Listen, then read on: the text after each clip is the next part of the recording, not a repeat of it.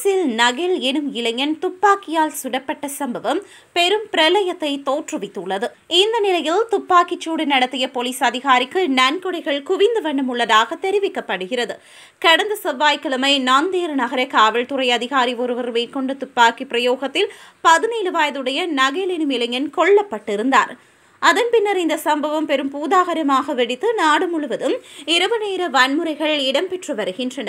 இந்த நிலையில் துப்பாக்கிச்சூடு நடத்திய போலீஸ் அதிகாரிக்கு ஆதரவாக அவரது குடும்பத்தினருக்கு நன்கொடைகள் சேகரிக்கப்பட்டு வருகின்றன.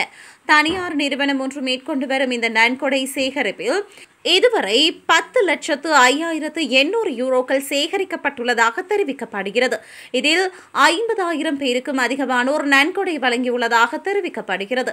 நகிலை கொலை செய்த போலீஸ் உத்தியோகத்தருக்கு ஆதரவாக நிதி சேகரிக்கும் நடவடிக்கை தனது மனதை வருத்துகிறது என்று நகலின் பாட்டி தெரிவித்துள்ளார். இடதுசாரி அரசியல்வாதிகள் உட்பட பிரான்சின் அரசியல்வாதிகள் நிதி திரட்டும் நடவடிக்கைகளை கண்டித்துள்ளனர். நிதி திரட்டும் நடவடிக்கை மூலம் நீர் பூத்த நெருப்பை மீண்டும் பற்ற வைக்க முயல்கின்றனர். என்றார் இது கலவரங்களை உருவாக்கக்கூடும்.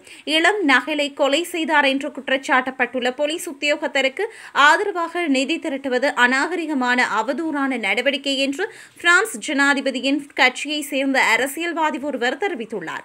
இந்த நிதி திரட்டும் நடவடிக்கையை முடிவிற்கு கொண்டு வர வேண்டும் என்று பிரான்சின் சோசலிச கட்சியின் தலைவர் வேண்டுகோள் விடுத்துள்ளார். இதேவேளை நகலின் குடும்பத்திற்கு உதவிடும் நோக்கில் பெரியதொரு நிதி சேகரிப்பும் நடந்துள்ளது. இதில் ஒரு லட்சத்து எழுபதாயிரம் ஆயிரம் யூரோ வரையில் சேர்ந்துள்ளதாக அறிய முடிகிறது.